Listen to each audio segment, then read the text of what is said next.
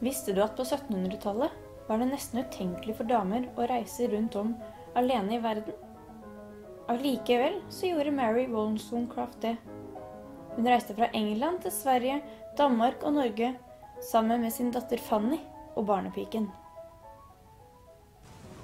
Kapteinen hadde lovt å sette meg i land i Arendal, i Norge eller i Göteborg på vei til Helsingør. Men pga. nattens motvind ble vi tvunget til å reise videre.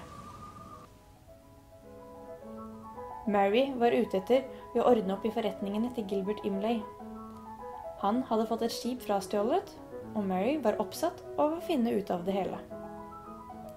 Gilbert var faren til Fanny, men Gilbert og Mary ble aldri gift, selv om de i perioder utga seg for å være det. Göteborg er en ren og luftig by.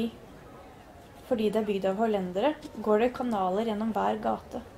Og i noen av dem er det rekker av trær som ville gjort det hele meget tiltalende om det ikke hadde vært for brolegningen, som er elendig. Etter hvert kjørnet forholdene mellom Gilbert og Mary, og Mary var fast bestemt på at dette var pga. hans forretninger.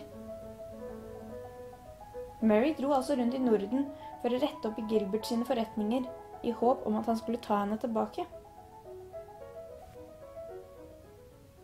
Som kongen av Danmark er en eneveldig monark, lot nordmennene likevel til å nyte frihetens velsignelser. Norge kan kalle et søsterrike, men folket har ingen visekonge som hersker over dem, og beriker sine slektninger med fruktene av deres strev. Mary kan beskrives som 1700-tallsfeminist, og var opptatt av kvinners ve og vel, og filosofen William Goodwin skriver i biografen om henne at dette kom fra at hun beskyttet sin mor mot ektemannens brutalitet.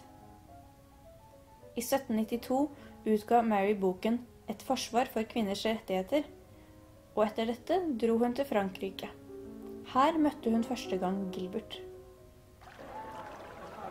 Det er et betydelig jernverk i Larvik som fremstiller rujern, og en innsjø nær byen skaffer det vann som behøves for å drive flere av vannhjulene som tilhører verket.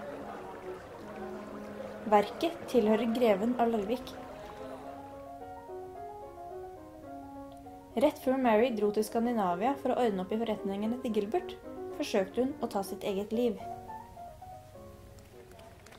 Siden jeg betraktet København som hovedstad både for Danmark og Norge, ble jeg forbauset over ikke se så mye foretaksomhet her som jeg gjorde i Kristiania. William Goodwin mente at brevromanen som Mary skrev når hun reiste rundt om i Skandinavia, hadde som formål og at menn som leste den, ble forelsket i henne som forfatter. William ble forelsket i Mary, og de giftet seg og fikk barn.